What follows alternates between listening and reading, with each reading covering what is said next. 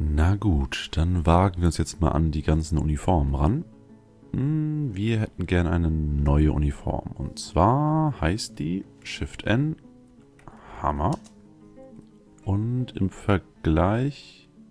Ich gucke mir mal ganz kurz die Axtuniform an. Also es steht nur Metallbrustplatte und Metallshirts. Das ist schon mal ganz gut. Ich dachte, ich hätte hier schon Eisen ausgewählt. Das heißt, alle unsere Zwerge, die die Axtuniform anhaben, tragen irgendwelche Metallbrustplatten. Also wahrscheinlich dann die Kupferbrustplatten von den Goblins. So, dann die Leather Cloaks. Hier ist nichts spezifisch. Okay, also eigentlich könnten wir das eins zu eins kopieren. Aber ich glaube, man kann Uniformen nicht kopieren. Delete, Add. Nö, schade. Na gut, also das Ganze nochmal. Wir brauchen Brustplatte. Wir brauchen Mail-Shirts und die müssen aus einem bestimmten Material sein. Shift M. Metall. Also ja, Brustplatten und Mail-Shirts können eh nur aus Metall sein. Hm? Aber gut, der Vollständigkeit halber machen wir es mal so. Dann kommen die Beine.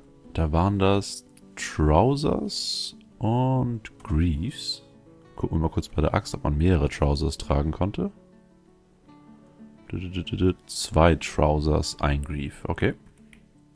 Also noch einmal Trousers. Die können wieder Shift M aus Leder sein. Aus Metall und aus Leder. Ah, ich freue mich schon auf die Zeit, wenn wir so viel Hundeleder und so viel Pigtail und so viel Eisen über haben, dass wir uns wirklich aussuchen können, woraus unsere Rüstungen bestehen. Und unsere Zwerge nicht wie Clowns rumlaufen. Aber sei es drum. So, ein Helm. Und 1, 2, 3, 4, 5, 6, 7 Hoods. Helm bitteschön nur aus Metall. Hoods bitteschön nur aus Leder. Es soll zwar nicht allzu viel Unterschied machen, und auch das Layering an sich nicht allzu viel bringen, aber jedes bisschen hilft. Denn tote Zwerge sind echt, echt nicht gut. So, Leather Hoods. Jetzt kommen die Handschuhe. Das waren einmal die Gauntlets und einmal die Mittens. Dup, dup, dup, Gauntlets aus Metall, Mittens aus Leder. Davon haben wir schon 16 Stück oder so.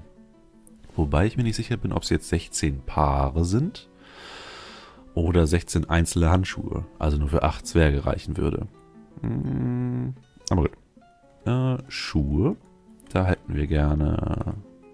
Äh, was hatten wir gemacht? High Boots und Shoes. Was sagt die Axtuniform? Die Axtuniform sagt... Leather Chaussons. Ach du gute Güte. Ähm, okay. Das heißt... High Boots und Chaussons. Dinger. Die müssen aus Leder. Und du musst aus Metall. So, ein Schild hätten wir gerne noch. Und eine Waffe und zwar... Ups, gleich total verklickt. Und zwar Maces. Die sollen bitte schön auch nur aus Metall sein. Nicht, dass ihr mit irgendwelchen Trainingsdingern äh, da rumläuft. Und ich verklicke mich die ganze Zeit. So, Hammer. Jetzt Shift M für Material und... Oh. Hier können wir nicht Metall auswählen. Hm, na gut, dann halt Eisen. Und die Schilde aus Metall. Das mit den Eisenmaces könnte knapp werden. Obwohl wir haben jetzt gerade 10 in Produktion, richtig? Gucken wir gleich mal. Erstmal die Uniform. Sind wir mit der Uniform fertig? Wir haben Hoods. Wir haben noch keine Cloaks, sehe ich gerade. Cloaks 1, 2, 3, 4, 5, 6, 7 Stück. Und die bitteschön auch nur aus Leder.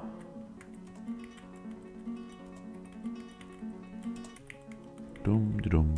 Ja, wir werden sehr, sehr viel Leder und sehr, sehr viel Stoff brauchen.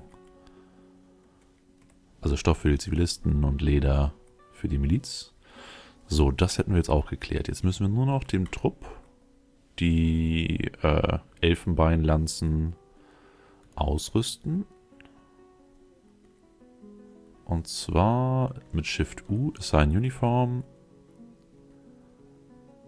Ihr seid Axt. Ist okay. Und ihr seid Hammer. Und zwar Shift-Enter für alle im Trupp. Jetzt müssten die hier alle den Hammer, die Hammeruniform anhaben. Oh, und gleich wieder auf dem Militärscreen. Und wir sollten jetzt hier deren Schedule festlegen. Gucken wir mal ganz kurz, wie das bei den äh, sanften Farbemitteln war. Die haben angefangen mit Training. Das heißt, bei den anderen machen wir es genau andersrum. Das heißt, die fangen an mit Pause die ersten beiden Monate. Also ihr Shift. Oh, das kann man direkt nebeneinander sehen. Das ist ja sehr praktisch. Okay, also das hier weg. Das hier weg. Das, das. Das, das. So, das heißt, es ist immer ein Trupp aktiv. Wir müssen halt nur gucken, welcher Trupp das gerade ist. Dass wir nicht aus den falschen Trupp losschicken und dann beide gleichzeitig aktiv sind und beide grummelig werden. Das muss ja nicht sein. So, das heißt, die dürften jetzt eigentlich automatisch gleich anfangen zu trainieren. Wir müssen sie nur einmal auf aktiv setzen. Also S, äh, Shift B und T. So. Oh, und wir haben noch keinen Trainingsraum für die festgesetzt. Ähm, ähm, ähm, ähm, ähm. Wir könnten das in demselben Raum machen. Und das machen wir auch einfach mal. Das heißt, wir machen jetzt hier draus noch eine Baracke. Und die ist für die Ivory Lenses. Und hier trainieren sie bitte schön, haben ihr individuelles Equipment und ihr Squad Equipment. Das heißt, durch den Weapon Rack hier unten haben wir jetzt den Trupp äh, einen Trainingsraum gegeben. Und durch den Armor Stand da oben, dem anderen Trupp. Aber die dürften sich ja eh nicht in die Quere kommen, da die ja unterschiedliche Trainingszeiten haben. So, jetzt müsste der Trupp einigermaßen einsatzfähig sein. Die Zwerge werden nach und nach ihre Waffen holen, denn ist gut. So, was für Fehlermeldungen haben wir? Wir haben keinen Stoff mehr. Das ging sehr schnell. Wir haben keine Fässer mehr. Das kommt unerwartet. Äh, äh, äh, wir haben inzwischen ein bisschen Granit über. Und warum arbeiten unsere Masons nicht? Die Masons haben nichts zu tun. Das geht ja gar nicht. Äh, gucken wir mal ganz kurz, wie viele Steinblöcke wir haben. Im Notfall können wir jetzt ein paar Steinblöcke schleifen. Und dann können wir auch ein paar neue Steinfässer herstellen. Granitblöcke, äh, 353. Wir wissen wieder nicht, wie viele davon wirklich schon verbaut sind. Das finde ich echt nervig. Na gut, Shift C, Floor. Bauen wir einfach da mal was hin zum Testen. Und gucken, wie viele Granit... Da ist Granit. Äh, wo sind Granitblöcke? Granitblocks. 71 Stück haben wir nur. Nö. Das ändern wir gleich mal. Rock, Block. 20 Stück. Und wie stellten wir jetzt nochmal das andere her? Die Fässer. Das war im Crafts Dwarfs Workshop, richtig? Das heißt, hier. Und dann werden die Steine hier unten genommen. Dann sehen die Fässer zwar komisch aus, aber damit werde ich erstmal leben müssen. Besser als das ganze Granit zu verbrauchen. Der Transport dauert ja echt viel zu, viel zu lange. So. Rock. Pot. Ähm, machen wir mal zwei Listen voll.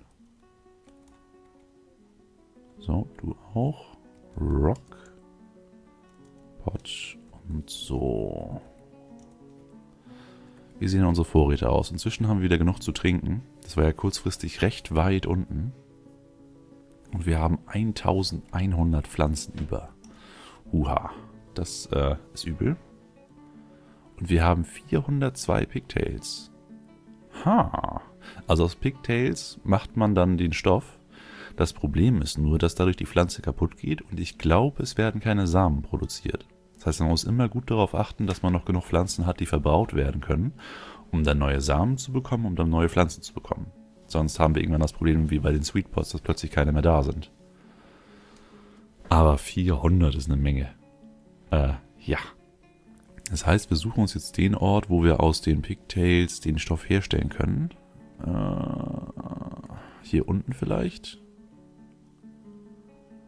Nee, aus dem Loom können wir nur... Also im Loom, das ist der, das Spinnrad oder der Webstuhl, da können wir nur aus Fäden Stoff machen. Das heißt, wir brauchen erstmal etwas, wo wir die Fäden aus den Pigtails bekommen.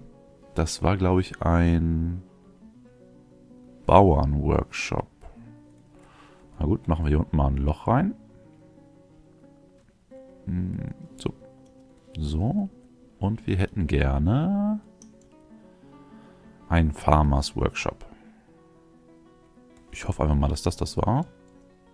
Und das kann auch ruhig aus Chat sein. Hier unten ist es egal. Ah, jetzt sollten wir auch gucken, ob irgendeiner der Zwerge überhaupt den Beruf dafür hat. Ah, unter was wird das sein? Wir haben Milling, Brewing, Cheesemaking, Spinning. Äh. Ja, das hört sich ein bisschen so an. Da gebe ich doch mal ganz kurz im Dwarf Therapist unserem Kloss-Menschen auch Spinning. Und Shearing, das ist halt scharfe Scheren zum Beispiel. Falls das irgendwann mal kommen sollte. Und sonst sehe ich keinen Skill, der da ungefähr so reinpasst. So, Commit Changes und hoffentlich kommt er jetzt gleich angelaufen. Und das sieht doch gut aus.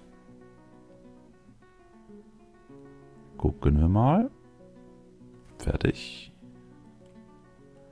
Wir hätten gerne Process Plant, Spin Thread.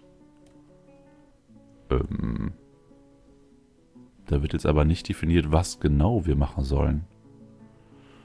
Gucken wir einfach mal. Ich habe jetzt mal... Achso, er meckert immer noch, dass er Stoff braucht. Okay. Das heißt, wir haben jetzt einfach mal den Auftrag gegeben, eine Pflanze zu prozessieren, also weiter zu verarbeiten. Und ich wollte eigentlich gucken, was da gleich rauskommt. Aber wir haben eine Karawane im Anmarsch. Karawane im Anmarsch heißt, wir haben auch die Chance eines Angriffs. Also einfach sicherheitshalber mal alle Zwerge in Bunker. Ich will nicht schon wieder Leute verlieren. Und wir gucken, welcher Trupp gerade aktiv ist. Das können wir wo? Hier. Unsere Färbemittel sind aktiv. Also S, Shift A, Move dahin. So, das müsste jetzt so ziemlich die sicherste Methode gewesen sein, die ich kenne. Vier Wagen sind schon mal. Also, dass alle Zivilisten sofort in den Bunker kommen, sobald eine Karawane eintrifft und einen Militärtrupp vor die Tür schicken. Und das sieht doch aus, als wenden wir einen Angriff. Ja, hier sind vier Goblins und die schießen auf den Hund wahrscheinlich. Und der Hund steht einfach da und macht nichts. Ah doch, der greift an. Sehr schön. Zack, und er ist tot.